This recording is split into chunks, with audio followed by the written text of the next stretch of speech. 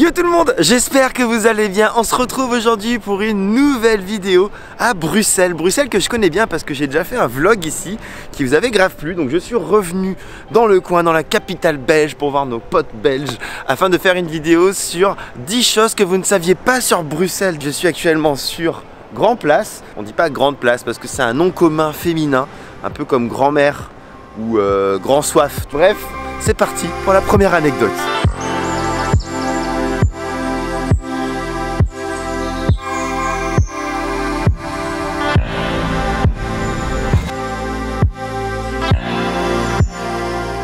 Et ma toute première anecdote, elle concerne ce gros bâtiment devant moi, à savoir l'hôtel de ville. Comme vous pouvez le voir de chaque côté de la tour, il y a la façade qui est clairement pas de la même taille, hein, on va pas se mentir. Eh bien, il y a une légende qui raconte que l'architecte qui s'est rendu compte de cette grosse erreur quand même, se serait suicidé. Il aurait tout simplement sauté de la tour. Mais cette histoire, elle est heureusement fausse, notamment parce qu'en fait, l'aile droite a été faite 20 ans avant l'aile gauche. Et pour info, l'aile gauche, elle est plus petite que l'aile droite, notamment parce que les sous-sols étaient vraiment pas terribles du tout. Donc, ils n'ont pas pu faire quelque chose d'aussi précis et d'aussi long qu'ils le souhaitaient. En tout cas, une chose est vraie pour le coup, c'est qu'il y a le point zéro dans la cour de l'hôtel de ville. Donc, ce point zéro, il a pour but d'être la référence et le point de départ de tous les kilométrages des routes de la Belgique.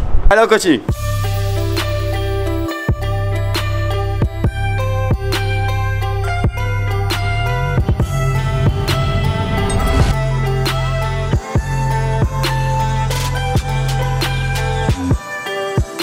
Avec 280 festivals par an, la Flandre est la région du monde où il y a plus de festivals tout simplement par habitant. Ouais, c'est un truc de ouf. Donc là, concrètement, je suis toujours bien évidemment à Bruxelles et je suis au Bright Bruxelles. C'est un festival qui a lieu tous les ans en février. C'est un peu comme la fête des Lumières à Lyon, donc c'est totalement gratuit. Tout ça pour vous dire que si un jour vous venez à Bruxelles, vous savez qu'il y aura des festivals beaucoup trop cool dans la ville ou même dans les alentours proches. Je pense par exemple à un festival qui est très connu, qui est pas si loin d'ici, qui s'appelle Tomorrowland. Je vais vous montrer à quoi ça ressemble. Bright Bruxelles, mais sachez-le, c'est en général en février et c'est totalement gratuit. Donc euh, profitons-en.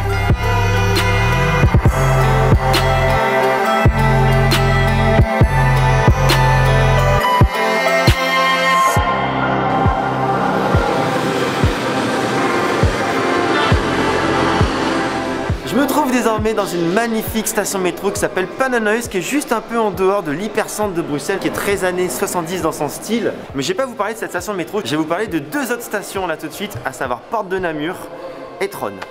Ces deux stations possèdent un atout insolite, des abris anti-nucléaires. Ils peuvent accueillir près de 2000 personnes. Ces abris ont été construits dans les années 60, pendant la guerre froide et la peur constante d'une attaque nucléaire. Aujourd'hui, ils appartiennent à Bruxelles Mobilité et ils ne sont plus utilisables parce que trop chers à entretenir.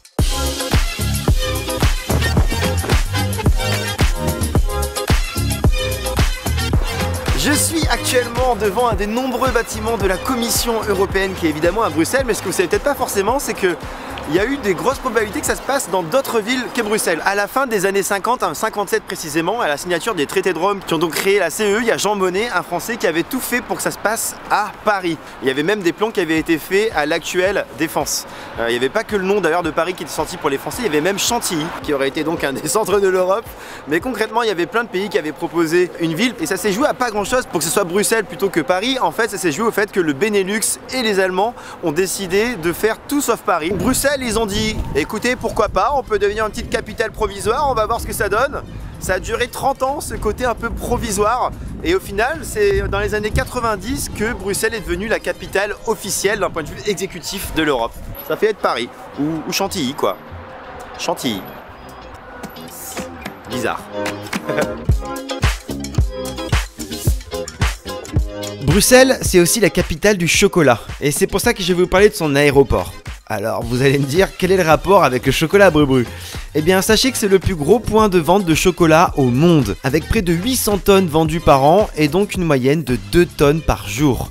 C'est un truc de fou. Mais pour vous parler plus en détail du sujet, j'ai rencontré un artisan du centre de Bruxelles, Laurent Gerbeau. Je suis donc avec Laurent, chocolatier de père en fils, fils de boulanger, c'est bien ça Laurent Petit-fils de boulanger, ouais. C'est vrai Ouais, boulanger, Ah, yes. pâtissier, chocolatier. Pour fois que ma blague elle marche. Donc, Laurent, tu es chocolatier. Ouais. Est-ce que tu peux m'en dire plus sur Bruxelles qui est un peu la capitale euh, du chocolat? Est-ce qu'on peut dire ça déjà?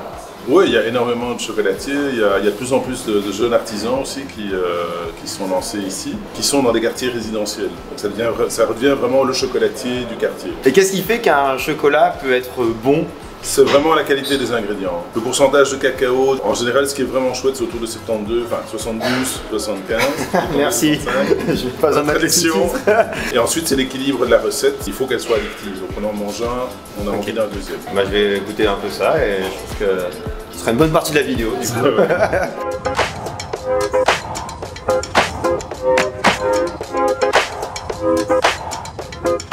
Me voici officiellement devant le Mannequin Peace, messieurs, dames.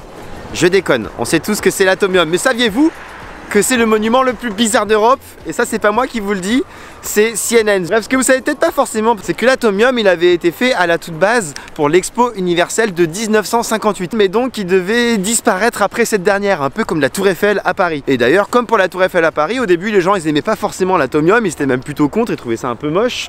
Mais au fil du temps, ils se sont dit, ah, c'est quand même plutôt sympa, on a un truc original à la maison, donc ils ont décidé de le garder. Au moins, c'est unique. Et il y a des expos super sympas à l'intérieur.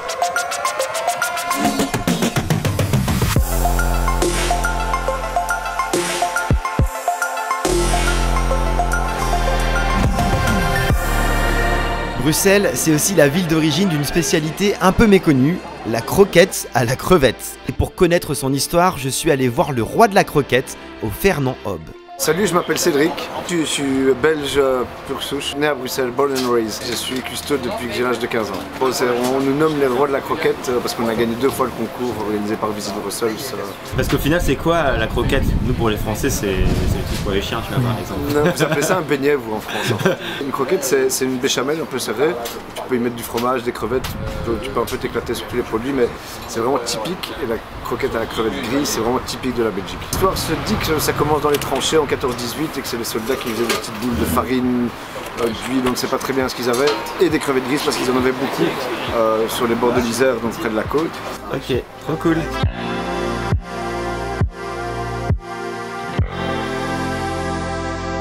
Je suis vraiment content de vous emmener dans ce lieu spécial pour moi parce que c'est un de mes lieux préférés de Bruxelles, c'est le palais de justice où j'étais évidemment venu en 2019.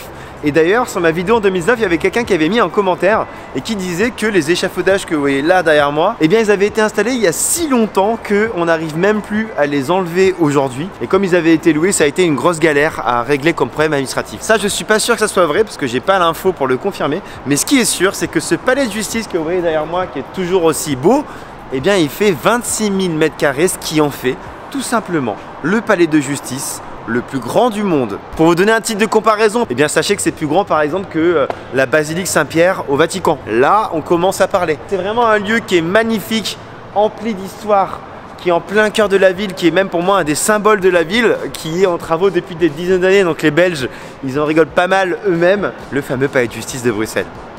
26 000 mètres carrés, le plus grand. Je sais pas pourquoi j'ai Del Mundo, j'ai fait allemand LV2 en plus. On continue. Ma prochaine anecdote concerne le chou de Bruxelles. Il a bien été inventé dans la ville au XVIIe siècle, mais ce que vous savez sûrement pas, c'est que des chercheurs du Kentucky School of Medicine ont essayé d'expliquer pourquoi beaucoup de gens n'aimaient pas ça. Et ils en auraient conclu que c'est une question de génétique. En fonction de leur gène, certaines personnes trouveraient les choux de Bruxelles bien plus amers que d'autres. Je lance donc le débat dans les commentaires.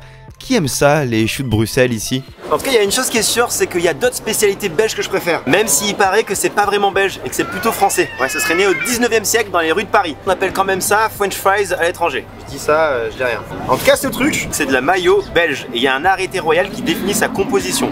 C'est pas une blague, c'est très sérieux. C'est très bon. Non, vraiment pas mal. Yes.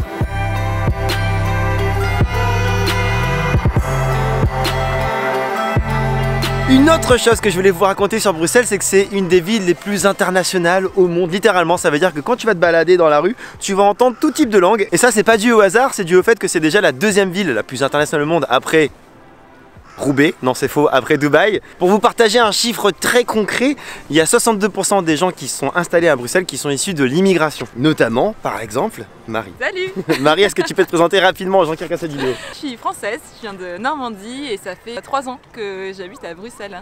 Avec ton copain qui lui vient de... Hollande Voilà, Tout donc là on a vraiment un exemple très concret de gens qui sont venus s'immigrer à Bruxelles. Pourquoi tu as choisi Bruxelles Bah, c'est une ville qui était euh, vachement accessible pour nous, Moi, parce que c'est pas loin de Paris. Et pour mon copain, de la même manière, bah, c'est pas loin de la Hollande et, euh, et il parle aussi flamand, donc C'était euh, en plein cœur de l'Europe, parfait pour vous. C'est ça. Tout ça, on en parlera très bientôt dans la prochaine vidéo qui sera sur Vivre à Bruxelles avec Marie. Marie, Salut. tu peux mettre la main sur la caméra.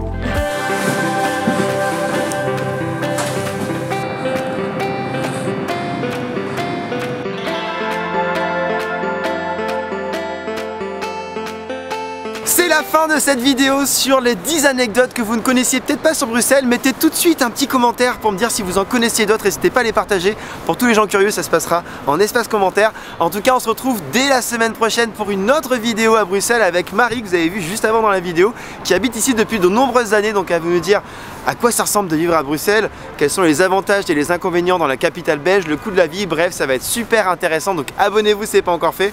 Et moi, je vous laisse comme d'habitude sur de belles images. Et surtout, surtout, n'oubliez pas de voyager. Peace